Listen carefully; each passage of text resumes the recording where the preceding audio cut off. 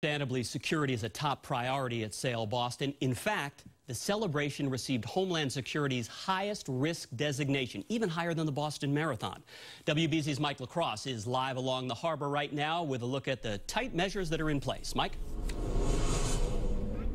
Ken, uh, good evening. Despite the fog today, thousands of people still came down here to see the parade of sails. Folks are now allowed to board the ships like we are here on the Pride of Baltimore 2. But before you can get to this point, you have to go through those tight security measures.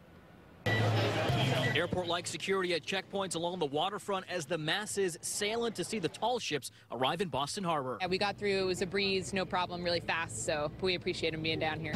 Dump trucks blocking access to the crowds in the Seaport District as K-9 units patrol the streets. I think it's good.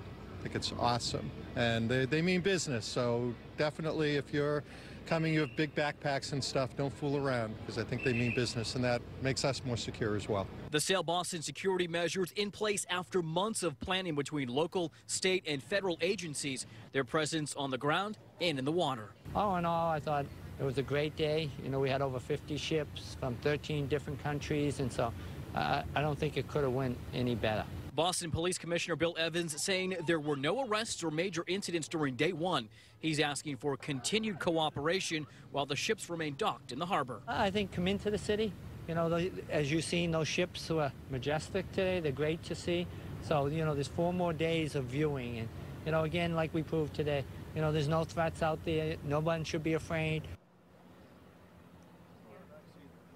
And a lot of the checkpoints and roadblocks have been removed. But if you do plan to board these ships, you will have to go through specific checkpoints. People are being asked to leave the backpacks at home to keep that process moving smoothly.